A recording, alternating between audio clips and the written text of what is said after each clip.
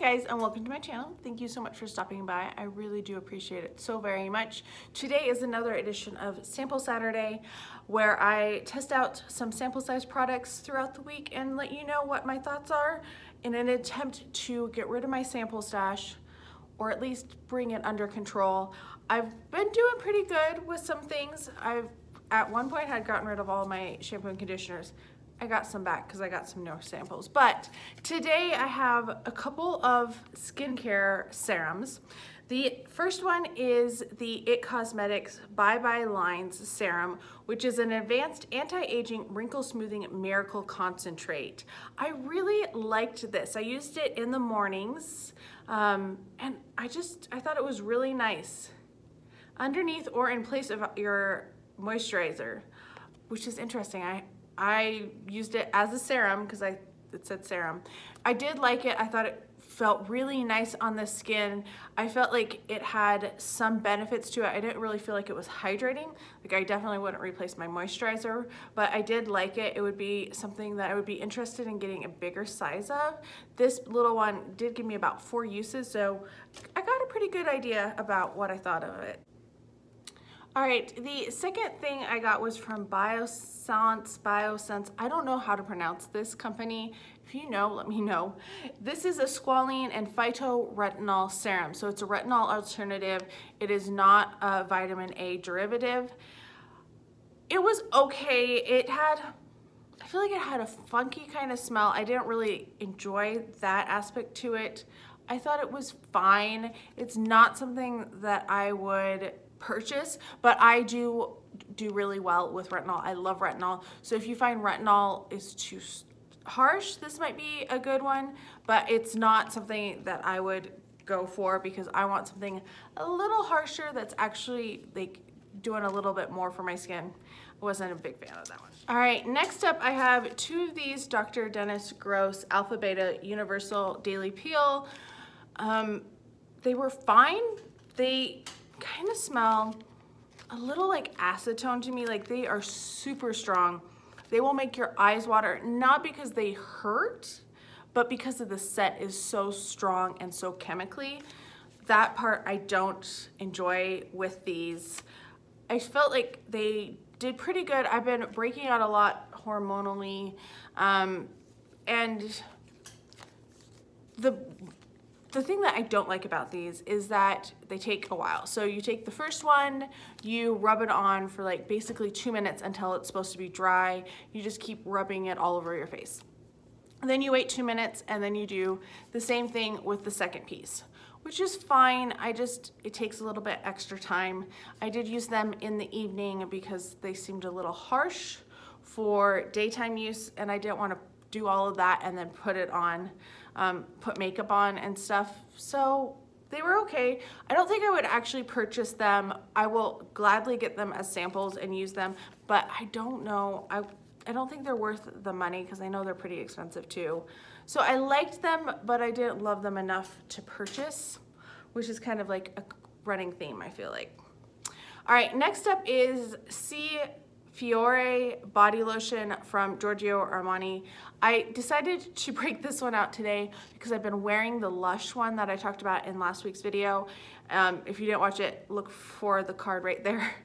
Um, that stuff is so thick and so like greasy and the smell is so overwhelming that I decided I need something a little lighter. This smells really nice. I love the smell of the perfume, so this was just a good lotion. And so far so good, I haven't used it a ton. It will be in my next empties, but I, am liking it so far.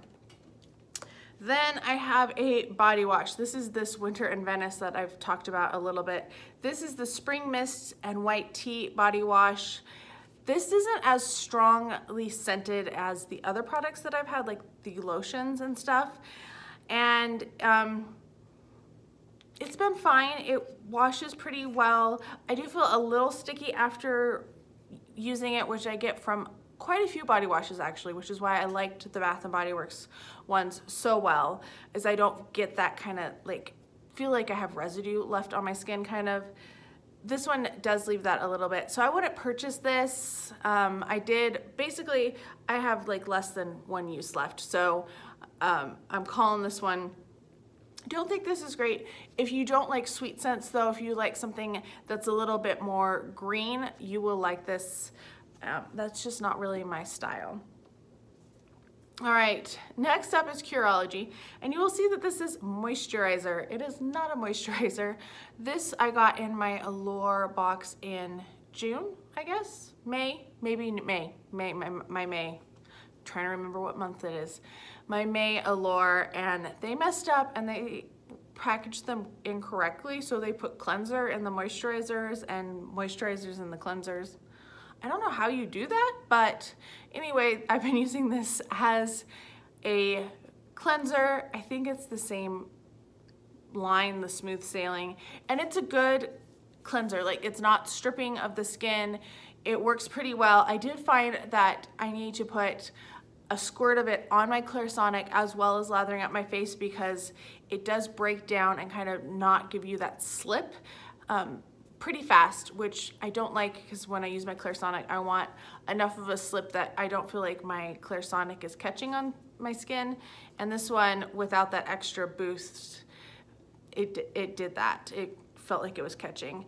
This is basically done too. I have less than a use of it, so this one you won't see again. I, I don't think it's worth it. I know with Curology you have to sign up for their system too, and anything that you have to sign up and get like a system is not worth it for me. I, I don't like that type of a business model. Finally is from Elemis. This is the Pro Collagen Marine Cream. I've actually used this in the past. I had a full-size one in one of my BoxyLuxes like over a year ago.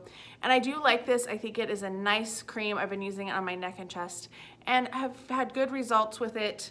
It's, you know, pretty emollient. It has some heft to it, but it's not like overly, like I wouldn't use it as a face cream, I don't think, because it's a little too thick for that because of my oily, dry, my oily combo skin. Oily, dry skin, what am I talking about? But I did like this one, so yeah, if I get another sample of it, I will definitely use it as a neck and chest moisturizer. Those are my samples, not a ton, um, just trying to keep using up what I can find and I keep finding more stuff everywhere. So let me know what you have been using. Are you taking a break because it's the summer? I feel like I'm slowing down a little bit because it just, I don't want to try a whole bunch of new things. Anyway, let me know your thoughts and opinions down below. I hope you are having a fantastic day and can't wait to talk to you next time.